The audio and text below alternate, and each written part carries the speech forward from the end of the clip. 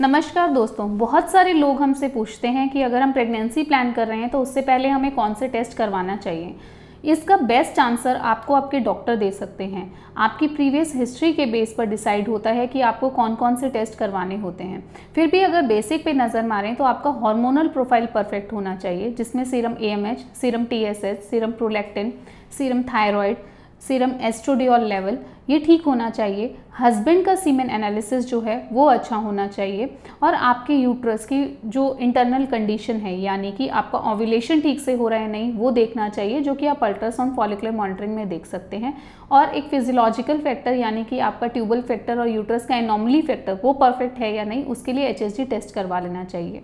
तो अगर आप प्लान कर रहे हैं, आपको काफ़ी टाइम से कंसीव नहीं हो रहा, और आप ये सोचते हैं कि हमें क्या टेस्ट करा लेने चाहिए तो ये एक बेसिक लिस्ट है जो आप अपने डॉक्टर के परामर्श से करवा सकते हैं। बिना डॉक्टर की सलाह के कोई टेस्ट ना कराएँ, ये मेरी आपको राय रहेगी। धन्यवाद।